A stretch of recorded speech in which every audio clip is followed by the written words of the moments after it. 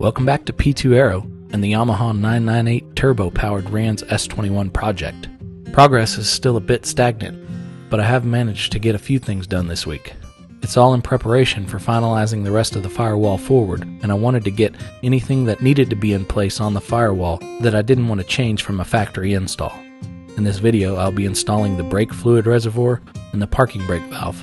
Since the kit includes a very nice set of pre-made lines for the brake system, I wanted to stay with the factory layout on these things so I could use those lines. With those things in place, I can work around their location when designing the coolant, oil, and exhaust systems.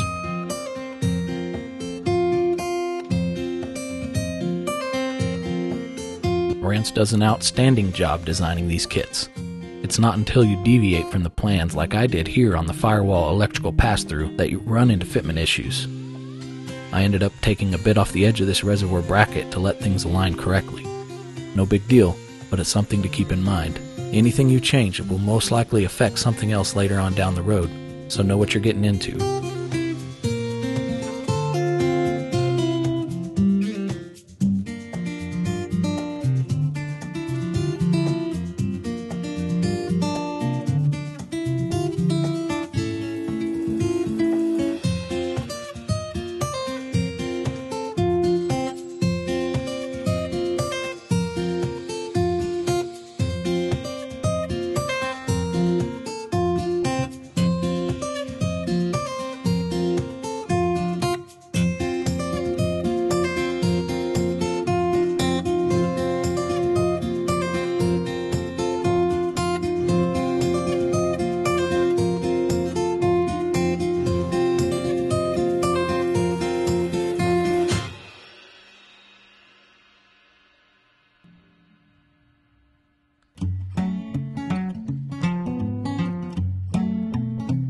Now it does appear like the factory did pre-drill the mounting holes for the parking brake, but it's a bit close to the center line of the aircraft, and it causes the 90 degree AN fittings to interfere with the diagonal cross tubes.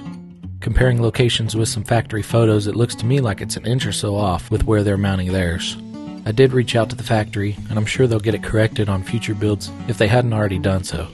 The pictures did show the rudder pedals in place, and I determined that there's ample clearance to shift things over but if any of you guys are further along, let me know what your thoughts are. There's also a bracket to secure the pull cable mounted just above the valve, but I decided that it just wasn't worth the hassle, so I just marked it and I'll work around that area just as easy. As for the unused holes, if I don't use them for something else along the way, I'll just throw some bolts in it later.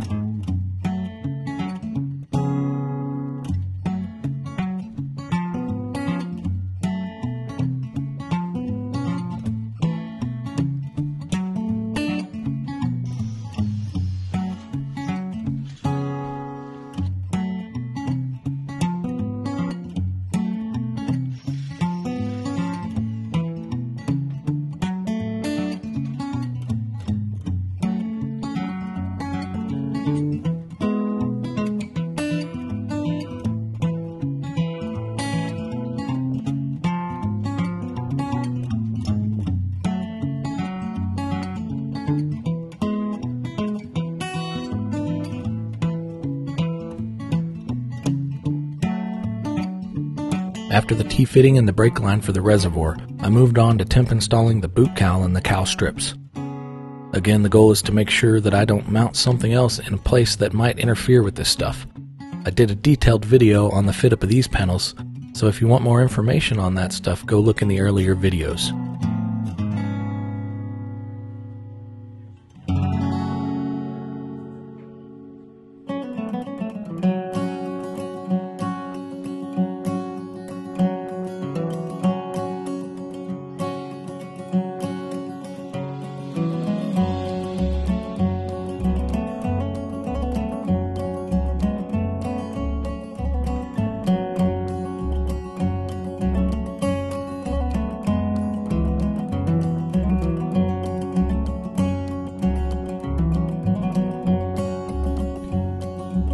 This lower section of cowl strip won't fit under the engine mount base, so I marked the mount, so I'd remember to clearance it when it comes off again.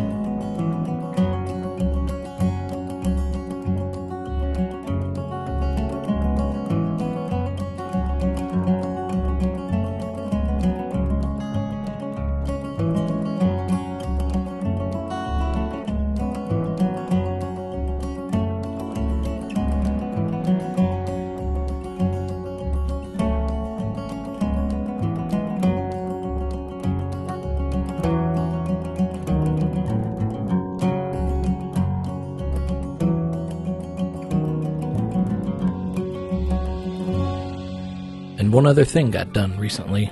I did a bit of rearranging in my garage. It's storm season here, so I wanted to be able to get my truck in the garage if I needed to. No one likes having a truck that looks like a golf ball because of hail damage. I tore down the shelf that I made out of the shipping crate and moved things around a bit so that it all fit in.